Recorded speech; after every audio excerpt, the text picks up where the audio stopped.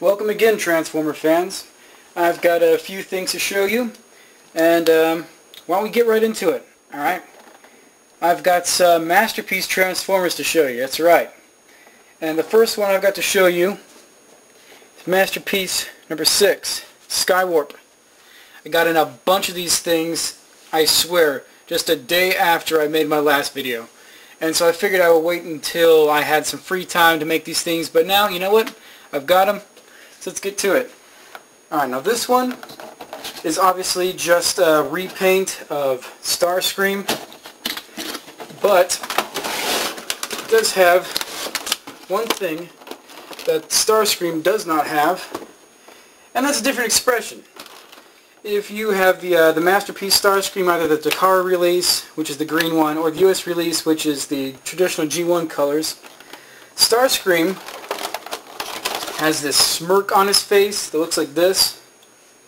But um, our friend Skywarp here has an expression that looks like this. Yeah, that's the one thing they changed about it. So you basically paid uh, an extra 80 bucks to get a black Starscream with a slightly different expression. Anyhow, that's what we've got for you right there with uh, Skywarp. Move on to the next one. Masterpiece number seven. Yeah, it's another Starscream repaint. This one is Thundercracker. With yet another exception. Yeah, another facial expression. So, basically you pay an extra, uh, let's say, 80, 90 bucks, whatever, to get another Starscream with a facial expression that looks like this. Yeah. But you know what? If you want to complete your collection, if you want to have a really kick-ass display of Masterpiece Transformers, then that's something you're going to have to do. You're going to have to put out the bucks. And me, since I have the money, I don't mind. However, last but not least, I have this. Yeah. Masterpiece 8, Grimlock. Yeah, the head Dinobot. Anyhow, why don't I pull this out and show you some of the, uh, the cool things it comes with? This one is not a repaint of Starscream, okay? I promise you.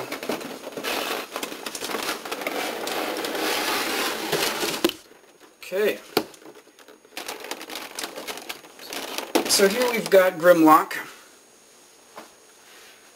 And when you pull it out and you look at it, I, at least, was rather surprised at how small the robot mode was.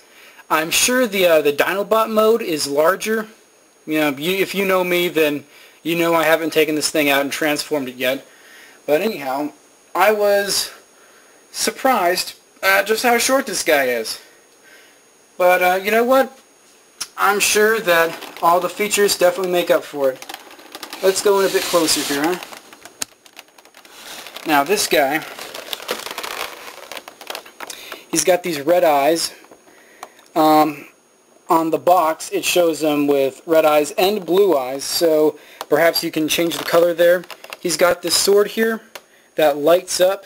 Yeah, the blade there lights up. Same thing with the gun. Here's his double-barrel gun that you've seen so many times in some of my other reviews. Double-barrel gun there. The, uh, the end of the barrels light up. Here we've got, you know, a little bow tie and an apron. And then you got like all these glasses and decanters of, well, I guess you could say liquid energon, but I'm just going to go ahead and say alcoholic energon, whatever. You know, it's uh, it's from a, a TV episode where Grimlock had to wear an apron and a bow tie and serve up stuff. Um, here's also um, this uh, this this stand here, right here, the silver disc, and this thingy here on this long pipe here that is supposed to be a, a headpiece for Grimlock in Dinobot mode when they're trying to increase his intelligence. You can see on the box right here, there he is. They're trying to increase, increase his intelligence, control him, whatever. You know, he's got the open and closing jaws, the tail moves, the, the head moves. You know, there he is. He's got, you know, the, the apron, the bow tie, and he's serving stuff up.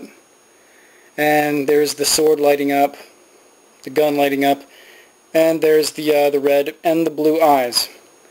So anyhows, that's basically all I've got for you right now. Join me again shortly, and I'll have something new for you. This is me signing off.